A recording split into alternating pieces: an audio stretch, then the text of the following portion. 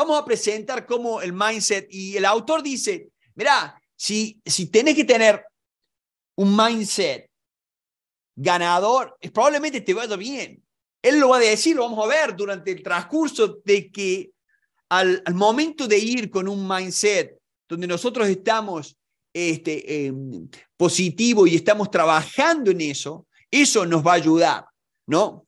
Este, nos va a ayudar, nos va a ayudar a, ponernos bien claro en que muchas veces yo no estoy pidiendo lo que debo pedir, no estoy pidiendo en forma correcta. Y, eso es culpa del mindset. Todo esto se relaciona. ¿no Llevo esos conflictos internos de que no, no pido, de, no, no pido de más. Y el autor explica, interesante, cómo él dice, siempre que pedir más. Para él siempre hay que pedir de más. Para mí, este, en negociaciones este, eh, más grandes hay que tener cuidado. Hay, eh, la información, este libro es de 2006.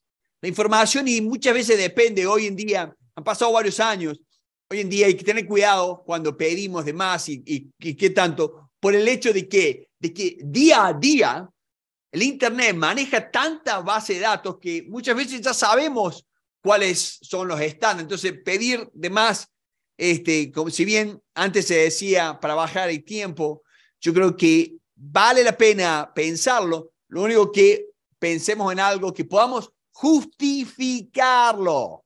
Acuérdense, porque tengo un cliente que me dice, no, bueno, pero yo pedí, pero no es justificable. Entonces, este, pedir de más cuando no es justificable es sinónimo de mentiroso.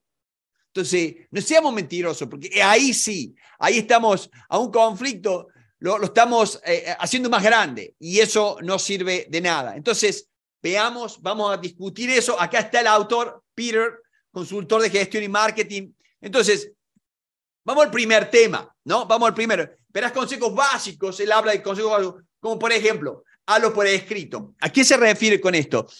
Él trabaja mucho y dice, este, discutilo, discutilo, discutilo, pero al final, ponelo por escrito.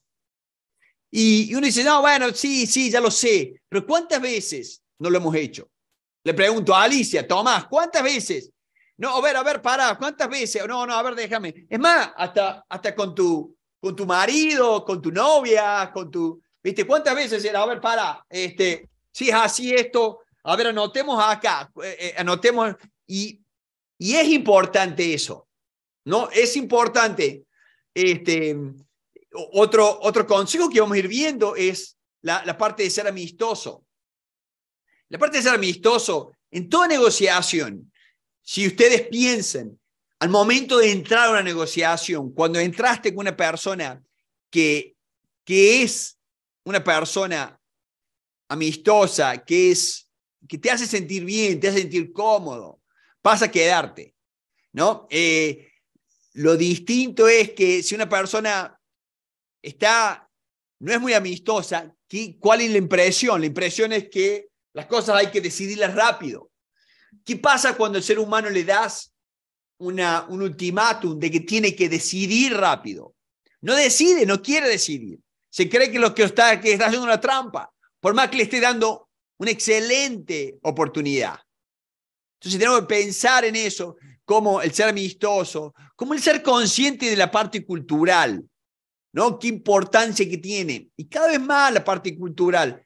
¿Por qué? Porque cada vez más la gente negocia con otras culturas y, y, la gente inteligente respeta otras culturas. Y cuando viene uno que no respeta, ¿qué pasa? ¿Vos con quién lo comparas? Yo estoy negociando con Eddie y, y, es de otra cultura de la mía, ¿no es cierto? Yo por lo menos estaba esperando esto, estaba... Y, de golpe veo algo que, que me hace sentir incómodo. Entonces, eso cambia. Entonces, tengamos mucho cuidado con eso. Empecemos, porque acuérdense, vos no estás compitiendo o yo no estoy únicamente negociando con eh, Ovidio. Yo estoy hablando, estoy trabajando con Ovidio, pero yo me doy cuenta que Ovidio ha estado negociando con otra persona, que esa persona respetó Ovidio la parte cultural. Entonces, en el momento en que Ovidio no se sienta cómodo, no se sienta, va a decir, bueno, y no me va a comparar a mí con una persona que, bueno, con un novato. Me va a comparar a mí con la persona que sí respeto. Tenemos que tener mucho cuidado con eso, cada vez más. Es importante. Y algo, algo que aprendí de Roger Fisher, profesor de la Universidad de Harvard. Él me dijo, las diferencias culturales son muy importantes. Y esto, por favor, tomen nota. Esto tomen nota porque creo que les va a ayudar muchísimo. Las diferencias culturales son muy importantes. Pero es más importante que sepas captar las similitudes culturales que tenés con esa persona. En el momento en que vos entras y empezás a trabajar en las similitudes que tenés, que empezás a conectarte con esa persona, es el momento en que la comunicación fluye. Porque claro, nosotros creemos que las diferencias van a hacer el, cambio. No, tenemos que entender las diferencias para poder comprender las similitudes y poder trabajar en las similitudes. Está en mi libro, en Nunca temas negociar, lo han visto. Está, yo lo explico eso, que fue uno, uno de los grandes descubrimientos, después de haber estado tres años trabajando en las diferencias culturales entre Estados Unidos y Argentina y Latinoamérica, ¿no? En la Universidad de Harvard, fue una de las cosas que, no, ¿para, para qué hago eso? ¿Para qué le dedico tanto tiempo si no voy a valorar la similitud? Suponete yo estoy negociando ahora y, y está Martín, estoy negociando con Martín y Martín no tiene hijos, pero a Martín le interesa el fútbol. Y es muy fanático del fútbol, sigue el fútbol. Entonces yo conecto con eso. Che, ¿estás viendo el mundial? Sí, ¿qué te pareció esto? Yo conecto con algo que le interesa a él.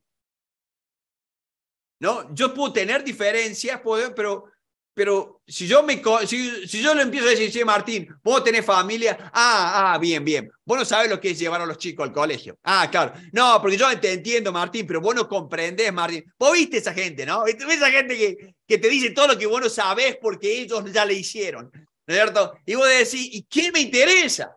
¿Qué me interesa? ¿Viste? Cortala, ¿viste? Vamos al grano, porque, porque no, porque nos molesta, que, oh, no, porque bueno sabes eso, bueno sabes eso. y bueno, pero, pero ¿qué pasa cuando alguien te dice, sí, eso es? Oh, mira vos, a vos también te gusta eso. Mira vos, mm, mira. Entonces ahí es donde conecte. Todo el punto de negociación es conectar con el otro.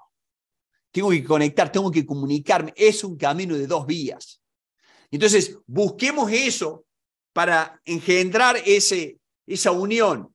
Y el punto, lo discutíamos hoy, Ahí está Carlos, acá lo acabo de Carlos, lo discutíamos hoy.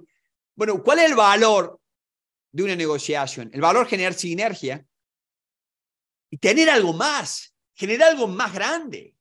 Ese es el valor, es el valor. Eso es lo que aprendemos acá. Acá no aprendemos oh, tácticas y tips para, para, para ir y, sacarle ventaja a mi vecinito. No, no, eso, eso no. Acá aprendemos en cómo podemos relajarnos, escuchar mejor, ver cuáles son las mejores formas, cómo la gente se adapta. Si yo veo que hay diferencias culturales, ¿qué hago? Enseguida aplaco, enseguida voy a hacer las similitudes. Eh, hay un, ejemplo hermoso. Este, cuando fui a Inglaterra, cuando yo me voy a Inglaterra a estudiar, y, claro, estábamos, estaba en Inglaterra, me fui a estudiar inglés primero, estaba haciendo un curso de inglés, todo, y nunca me voy a olvidar que estaba con, una persona de, de, Egipto. Obviamente, él no hablaba bien inglés, yo tampoco hablaba bien inglés. Imagínense que podemos hablar, un egipciano. Hasta el día de hoy me acuerdo de él, ¿viste? Y, después del curso me dice, ¿quieres venir a mi casa? Claro, yo no sé cómo nos entendimos, pero bueno, lo entendí, digo, sí, vamos, digo, estoy acá, qué sé yo. Claro, imagínense, toda una cultura totalmente distinta. Y yo no sabía ni hacia dónde iba, ni nada en la conversación yo le pregunto a él cómo, eh, cómo es el tema de, la mujer, porque estaba la mujer, estaba ahí, pero la mujer no, no entraba al, comedor. Este, y él entendía la cultura nuestra. Y me dice, mira, dice, yo la llamo, pero, digo, pero me dice, ella va a estar muy contenta que vos le agradezcas y que digas que la comida está muy rica. Pero ella no quiere estar acá con nosotros. Es una cuestión de cultura. Entonces, bueno, ¿viste? Esas cosas que uno tiene que, entender. Es totalmente diferente a lo nuestro, pero yo dije, bárbaro. Perfecto. Cuando vino, thank you, gracias, gracias, delicio, delicio, se fue contenta. Eso es lo que, cómo uno tiene que ir adaptando. Y, y eso es lo que más me llama la atención. Cómo hay formas simples que tenemos que seguir el ritmo. Y una persona, una contraparte inteligente te va a ir mostrando esas cosas. Entonces, tomamos todos nota que vamos a tener mucho cuidado en entender a la contraparte, buscar, pero más que todo vamos a tener cuidado en buscar similitudes, buscar cosas interesantes, como por ejemplo, con el egipciano, ustedes saben de qué podíamos hablar. ¿De qué hablamos? De fútbol, ¿o no? Obviamente que hablamos de fútbol. Con Egipto ama el fútbol. Entonces, acá, este, hay cosas en que si yo quiero que el, el, autor plantea, si yo quiero que la negociación aumente, eh, perdón, no aumente, sino que, que pase rápido, yo le puedo dar una silla incómoda. Son distintos trucos que, que se usaban y a veces se usan, ¿no? Que tenemos que, por eso yo no estoy tan de acuerdo con ese tipo de trucos, pero este, se usa si subir la temperatura para que la persona esté muy, eh, esté, esté súper súper caliente y que quiera irse, dar una silla incómoda, darle, darle una silla, dar una silla más baja, ¿no? Este, suponete que, que yo estoy así, ¿entendés? Que yo te estoy, te estoy mirando de ahí. Este, hay, hay distintas cosas, si me una silla, hay distintas formas de utilizar pero no nos vemos nunca, gente. Una de las cosas más importantes en la negociación es cuando vos tenés la posibilidad de manejar la agenda. Y este tipo de cosas son las cosas que vos usás cuando vos manejás la agenda. Suponete, yo tengo que manejar, yo tengo que negociar con, eh, ¿cómo se llama? Con Diana. Tengo que negociar con Diana. Y, y Diana y yo no nos llevamos bien. Y yo sé que Diana se queda y se queda horas y horas y horas. ¿Qué es lo que puedo hacer? Cuando Diana venga, yo no estoy en mi oficina y estoy parado y directamente la atiendo. Digo, no, no, no, lo hablemos ahora porque mi oficina, tengo la computadora, está rendeando. busco eso, pero manejemos. Gente, manejen, manejen la agenda. Em, hoy en día, Carlos me puede corregir, ¿cuántas cuántas cosas corregimos hoy de distintas negociaciones con distintas personas que era justamente el secreto está en el manejo de la agenda. Tenemos que ser muy cuidadosos en cómo manejamos este, la agenda. Este, y bueno, esto es claro, tu mensaje del autor. El, en, toda la vida, en toda la vida estamos continuamente, tenemos que desarrollar esa mentalidad de negociador. Pero yo más que todo, porque eh, y me lo pueden hacer aquí en el chat. ¿Quién diría que en el chat? Para, ¿Cuántas veces cuando hablamos de negociador o cuando hablamos de negociación, estamos refiriéndonos a algo que nos hace sentir que estamos en una, confrontación? ¿No? Eso es, algo cierto. La negociación trae eso. Ojalá pudiésemos inventar, una nueva palabra que no sea eso, porque la negociación fue sinónimo o estuvo muy cerca de la guerra, estuvo muy cerca de otras cosas. Entonces, hay un enfrentamiento. Pero desgraciadamente es lo que es y tenemos que seguir. Entonces, pensemos, eh, en tener una, esa mentalidad de negociador, tengamos una mentalidad de creadores, tengamos una mentalidad de generadores de nuevos negocios, tengamos una mentalidad de cómo generar valor y fundamentalmente, tengo una mentalidad de líder. Seamos líderes, ayudemos que otras personas puedan ayudarse a ellas mismas y que puedan construir algo. ¿Cuántas veces, en cuántas negociaciones hemos estado que si el otro, la otra parte se fue de la mesa y voy a decir, hoy nosotros realmente queríamos hacer esto, o, o, había un montón más de sinergia, y por el hecho de que no sabíamos cómo comunicar, no sabemos, hay un montón de pequeñas cosas que no nos hizo, no se nos hizo posible llegar a un acuerdo. Esa es la responsabilidad de cada uno de ustedes. La responsabilidad es llegar a acuerdo. La responsabilidad es no, no quedarnos en la cabeza esa la mentalidad, sino seguir pasos. Acá el autor nos, nos muestra cuatro pasos interesantísimos para que vean, para que vean, para que, pero porque tenemos que estar reconociendo que oportunidades, tenemos que estar reconociendo información, tenemos que estar viendo, bueno, cómo ponemos en práctica todo esto. Y eso es justamente lo que el autor, perdón, el, autor nos plantea. Dice los cuatro pasos simples, reconocer las oportunidades. Tenemos que estar siempre buscando. No me gusta el punto dos, no me gusta, ustedes me conocen. Pero bueno, es lo que dice el autor. Reconocer oportunidades, regateador. Yo no soy de la idea de, de, regateador, pero el autor, el autor lo pone. Este, tiene alto ranking. Este, bueno, eh, eh, acá se le habla bargaining, ¿no? Este, por ahí, yo diría, ¿dónde está el lugar donde podemos generar valor? Y en base a eso, ustedes han visto cómo nosotros hemos desarrollado el método de la Universidad de Yale, que también el método de la Universidad de Yale es que del año pasado. Está acá en YouTube, lo pueden bajar, pueden... Este es uno de los mejores libros, Split the Different, este profesor de la Universidad de Yale. Esto es en contra de este tipo de regateo, ¿no? Pero esto es 2022, este libro es 2006. O sea que hay una diferencia, 10 años, una década es mucho. Es mucho fundamentalmente en esto, cómo, cómo venimos creciendo, cómo venimos aprendiendo. ¿no? Eh, el, otro punto que habla, interesantísimo, dice, dígase a sí mismo que puede, ¿no? Esto es como self-affirmation, ¿no? Hay que, hay que trabajar. Y yo estoy de acuerdo con esto. Más que en mi libro, yo lo que digo, diga a sí mismo, yo digo, el mindset, ¿dónde está tu mindset? ¿Para qué vas si crees que no vas a ganar o crees que no vas a obtener valor o crees que no vas a poder sacar nada útil?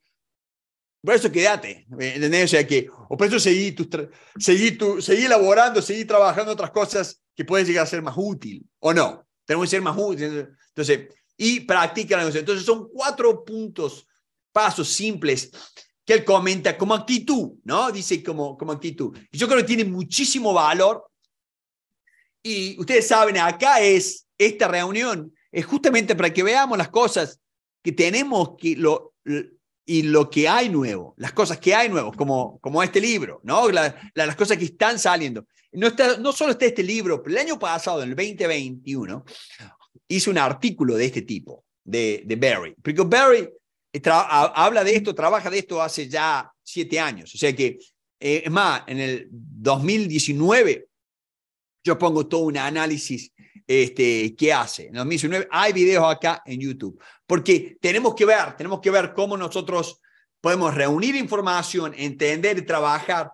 Y claro, y, y no ir, yo les diría, hoy en día, con esto, no vayan al regateo. Vayan, porque cuando uno va al regateo, es este. Eh, no hay valor, ¿viste? Se pierde el valor, se pierde. La gente tiene miedo de que en el regateo todos tienen miedo de hablar de más, de hablar de menos, de esto, lo otro. Yo creo que eh, hay que buscar honestidad, hay que buscar la sinceridad, hay que buscar, bueno, explícame tu parte. Y hay veces que la otra persona no sabe decirte, ¿por qué no me explicas tu parte? ¿Por qué no me explicas de dónde venís, por qué lo haces? Entonces, Ahora que estamos todos aprendiendo, decimos, che, mirá, vos sabés que, a ver, comentame un poco más cómo, cuál fue el proceso, qué es lo que es, y, cuántos de ustedes está de acuerdo conmigo que, que muchas veces hay negociaciones en que no, se nos pasa y estamos con 20.000 otras cosas y no llegamos realmente a ver que esté regateando en esto o el otro. No, no hay un punto de importancia porque uno está viendo una, una foto más grande. Pero cuando uno ve esa foto más grande, si yo no se la transmito al otro, si yo no, si yo no se la explico, si no le veo, mirá, esto es, esto es, esto es así, así, pero esto a dónde vamos, el otro no va a entender. El otro no me va a seguir, va a estar perdido. Y muchas veces nos pasa. Eso justamente es el tema, ¿no es cierto?, de cómo reunimos la información, cómo buscamos que el autor plantea eso. Pero acuérdense, ustedes no busquen información para regatear. Busquen información para qué? Busquen información para crecer, para construir, para dividir el pastel. Una vez que el pastel lo hayan hecho más grande, recopilen información, recopilen, vean y analicen cuáles son los recursos. Vean los recursos, vean la motivación de las distintas partes, vean la lógica que tiene. Y en la lógica, por favor, por favor, dígame uno de ustedes, si no está de acuerdo que si no tiene lógica lo que estoy pensando, tengo que tener cuidado con tirarlo en la mesa. Por favor, cuidado con eso, porque hay gente que no tiene lógica, pero entiende que hay algo nuevo, pero al tirarlo a la mesa, lo único que genera es distracción y problema. Ahí está, perfecto, Alberto García. Fíjense el comentario, excelente lo que dice. Este, bueno, fíjense, eh, eh, sería el costo económico, exacto. Bueno, justamente hoy hablábamos, discutíamos en el VIP, que acuérdense, por favor, suscríbanse ya, porque hay gente que nos escribe y nos pide, oh, dame ese precio, dame ese precio, y, vamos a seguir diciendo que no, por respeto a todos ustedes, por respeto a, la comunidad, vamos a seguir siguiendo no. Hay una sola persona que se le dijo que sí, por una, una, cuestión de que ya estaba, una cuestión extra. Este, pero lo que hablamos hoy es cuando vos tenés un factor, un solo factor de negociación, uno solo, el precio, ¿no? ¿Cuántas veces nos pasa? Hay técnicas, hoy estábamos discutiendo, gente, no se olviden, ingresen al curso de preparación, hay otras técnicas para salirse de ese vicio.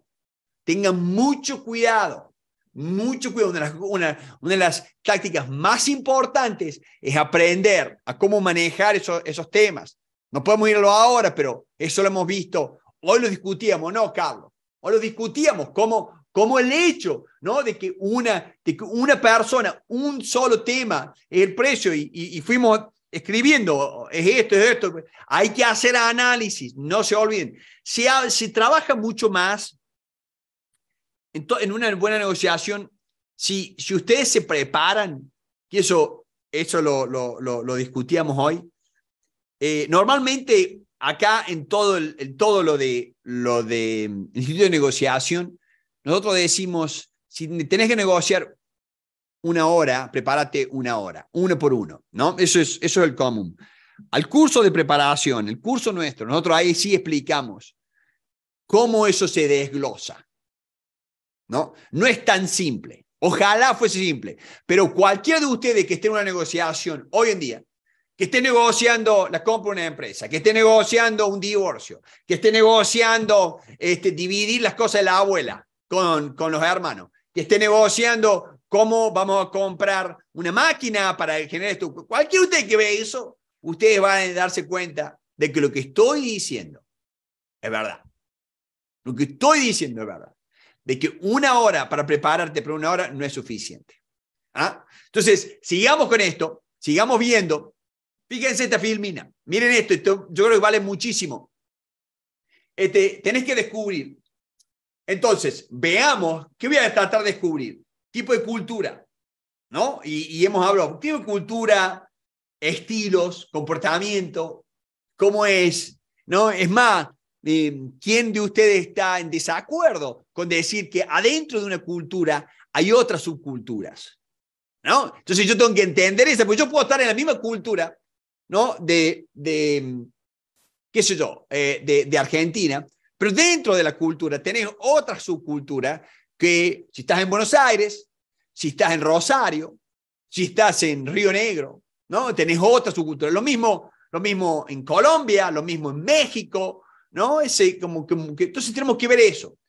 ¿Dónde encaja realmente el negociador en la empresa? Eh, ¿Qué tipo de persona es ese negociador? ¿Qué quiere? Todas esas preguntas son preguntas eh, un poquito más viejas que las preguntas que ustedes tienen en la hoja de, la, de los 10 de los temas, de los 10 puntos de preparación, ¿no? Este, son, son un poquito más viejas, un poquito más, este, más complicadas. Necesito mostrarlas porque es parte del libro. yo personalmente usaría las 10 preguntas que nosotros tenemos para prepararnos. Este, estas te ayudan, te hacen pensar. Él quiere que que veas, que hagas un análisis de your mindset, a dónde estás, cómo vas, este, qué quiere el otro. Eh, pero yo creo que hoy en día prepararse, estamos a otro nivel ya. ¿no? Estamos, estamos en el 2022, estamos a otro nivel, ya casi estamos en el 2023. ¿no? Yo, eh, hoy en día, este, ¿qué quiere la empresa? Eso es obsoleto. Yo te diría, hoy en día es qué es lo que necesita la empresa, cuál es el problema de la empresa, dónde está el dolor, cómo puedo analizar, qué es lo que quiere la persona que quiere que la empresa quiera eso, cuál es el dolor de él, por qué él quiere que la empresa quiera que quieras eso. O sea, hay más cosas más complejas que uno tiene que empezar a pensar, pensar y eso es lo que te va a dar cómo podés conectar. Pero yo ¿qué quiere la empresa? ¿Cuántas veces ¿Quién no está de acuerdo conmigo? Que yo digo, ¿qué quiere la empresa? Y quiere comprar barato para vender, para vender caro. Ah, bien, bárbaro. Bueno, yo soy el más barato. yo estoy vendiendo esto y soy el más barato. Y no me compran. y no me compran. Pero compro, compro, como si la empresa, sí, pero si la empresa quiere comprar barato para vender caro, eso es lo que todas las empresas quieren. Voy, no me compran, no me compran. Hasta que un día me doy cuenta y miro así quién sale y veo que el comprador lo abraza al, al tipo y le pregunto a la, a la recepcionista, ¿quién es ese? Ah, es el que vende el mismo producto que el tuyo. Ah, ¿sí? ¿Ese? Sí, sí, es el cuñado. ahí está, ahí, tenés, ahí te lo dije. Estás perdiendo el tiempo porque era el cuñado. Y vos decís, no, está mal eso. No, no está mal. Él confía en el cuñado. ¿O no? No está mal.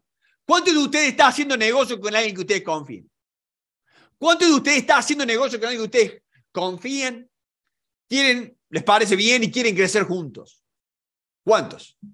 Vamos, levante la mano, cabeza. Vamos, levante la mano. Y bueno, ¿y está mal? No, no está mal. Y, relaciones, exacto. Relaciones. Las relaciones son muy importantes, pero ahí está donde hoy en día, si yo voy con esta pregunta, ah, me, quedo, me, me, me quedo para atrás, ¿no? Tengo que empezar a darme cuenta más de todas estas cosas. Bueno, gente, quiero dividirlos en grupos pero antes de dividirlos en grupo, déjenme que les muestre. Este, acuérdense, el libro, siempre hay que prepararse, busqué estrategias y buenas. Está el libro, página 63, márquenlo hoy, página 63 del libro, todo lo, lo leamos. Eh, para el que no me conoce, para los que están acá por primera vez, mi nombre es Pablo Dinswain, tengo un instituto de negociación acá en Pittsburgh, soy el autor del libro Nunca temas negociar, estudié en la Universidad Católica de Córdoba, Universidad de Manchester, y de ahí me vine acá, me crucé a Estados Unidos, y porque estaba, Manchester es en Inglaterra, me vine acá a la Universidad de Harvard. Acá tenemos un par de, de clientes, he estado en más de 10.000 negociaciones, y esto lo digo siempre, todos todas las clases, para que vean que lo que estamos hablando, lo que estamos discutiendo, es algo que, eh, que, les, va que, que les va a ayudar. Acuérdense, es una hora, es una hora, todos los martes, una hora, tengamos ese compromiso porque mientras más gente calificada como Alicia, Carlos, ¿cierto? Que gente que viene, eh, Tincho, Pablo, Alberto, eh, eso es lo que le da valor a, la charla, a la charla entre ustedes, ¿no? Y ustedes vieron el respeto, ¿no? El respeto de escuchar a la otra persona, de que una persona está diciendo esto, y por ahí, por ahí uno dice, ¿cómo escuchó eso? De dónde salió y bueno, y después termina dándote. Este, y otra cosa, eso es importante, pero también es importante que a las seis de la tarde. No dije seis y cuarto, dije seis. No dije seis y media, dije seis. Por favor, tenemos que aprender que vamos a empezar a las seis y vamos a terminar a las siete. Acuérdense, eh, como latinos tenemos que que, estamos en un grupo internacional. Tenemos que aprender las seis y las seis. No, no es seis y cuarto, es las seis. La confianza la van a estar generando de esta forma. ¿No es cierto? Haz siempre lo que dice que, que harás. Es un punto importantísimo. Tomemos nota porque vale la pena. Mantente en contacto con tu contraparte. Acuérdense, hay gente que, si yo creo que Tomás no piensa como yo pienso, enseguida, ¿qué es lo más lindo que hay? extraerme irme, eh, eh, tratar, de, tratar de alejarme de eso, ¿o no? Cuando con los clientes esos clientes que no nos gustan tanto. Ese cliente que no, cada vez que lo hablo me regatea, cada vez que lo... ¿Y qué hacemos? No hablamos tanto. No estamos tan... Pero el otro que es más jodón, que esto, que el otro, sí, a ese sí. Entonces, veamos. Fíjense el otro punto, llamemos a menudo. Hagamos algo extra al principio para generar, para atraer a la gente. ¿Por qué? Estoy construyendo confianza. construyamos confianza. Vale muchísimo construir la confianza. Y en esto, tomemos nota de esto. Hace falta confianza para cerrar un acuerdo. La mayoría de la gente dice que sí, porque no han estado en muchas negociaciones. No hace falta confianza para cerrar un acuerdo. Es un gran error, una mentira de muchos nuevos expertos de negociación que no saben, porque no tienen la experiencia. A nadie le hace falta confianza. He estado en negociaciones muy duras, donde nadie confía en nadie, pero nadie confía en una negociación acá en Canarica de eran unos 40 millones de dólares, nadie confiaba en nadie. Y se cerró la negociación. ¿Qué es lo que hace falta? Exacto, Alberto. Lo que nos hace falta es el compromiso. Busquemos eso. La confianza me ayuda a mí a trabajar hacia el compromiso. Pero no puedo decir que no logré un acuerdo porque no teníamos confianza. Una mentira. Una mentira de gente que no sabe. O sea, acuérdense, cuando yo veo, estoy trabajando y veo que estoy distante, veo que no hay la química, veo que no hay esto, lo otro, lo otro, no importa. ¿Qué tengo que definir? ¿Cuáles son los puntos en los cuales vamos a generar sinergia, en los cuales podemos generar algo más importante? Eso es lo que yo tengo que buscar. Busquen siempre eso. Hay momentos en que admitiendo errores, hay momentos en que llamándolo, hay momentos en que hoy hablamos con el equipo del de, VIP, del equipo de preparación, hablamos, eh, yo creo que en este momento está en una negociación internacional, en este momento sería muy bueno mandar un WhatsApp, mandar un email, ¿no es cierto? Mandemos un email a una persona que, claro, tiene una negociación complicada internacional, donde no es que, no, es que lo veo en la oficina de, de, al lado, o no es que me lo encuentro eh, cuando voy a cenar en, en, en, en downtown, en el centro. No, está a 10.000 kilómetros de distancia 20 mil kilómetros de distancia, no, no me lo voy a encontrar. Entonces, claro, entonces tengo que empezar a utilizar otros, otros mecanismos para estar cerca, para estar cerca de la persona. Y eso es una de las cosas, ¿no? Tenemos que admitir los errores, ser un miembro del equipo para crear una atmósfera, eh, hablamos de nuevo, a crear esa atmósfera amistosa, ser claro, ¿no buscar esto, la página, la página 116, este, Tomen nota de esto. Todos los, para la gente nueva, en todas las clases les doy, les saco partes para que la gente va notando y vamos tomando nota del libro. Es muy importante este, generar esa confianza, ¿no? Para llegar al compromiso. Eso es lo que más me hace, lo que me hace a mí, soy una persona que yo obtenga el compromiso, este, si no lo puedo obtener a través de la confianza, porque estoy manejando un divorcio, porque estoy manejando el divorcio, ¿hasta qué punto me sirve que, el mujer y la, que, la mujer y el marido se entiendan? Uh, confíen en ellos. Hay un compromiso que son los chicos. A través de los chicos hay un compromiso mayor. Eso es lo que va a unificar, lo que va a hacer que el acuerdo se cumpla. Ahí tenemos que buscar. Entonces, si gente que se, se, se traba toda su vida buscando, no, yo no confío, yo no confío. No, no es que tenés que confiar. Tenés que ser más inteligente, confiar en el 70, en, lo, en los 60, los 70, los 80. Ahora tenés que, ¿qué? Tenés que buscar, identificar cuáles son esos puntos de compromiso, cuáles son los puntos. Es más, eh, hay negociaciones en que ponemos penalties, ponemos cláusulas claras de que si no se logra este compromiso, si no se logra esto, bueno, estas son las consecuencias. Y, y, hacia ahí va. Y gente, estas son las 7 de la tarde. Este, para el que no tenga mi libro, por favor, acuérdense, está, ha sido Amazon bestseller. También está el audio, lo pueden escuchar con el iPhone. Cuando lo tengan el libro, lo que le pedimos acá, se lo pedimos de todo corazón. Este, esto es la parte más importante de la presentación, escúcheme bien.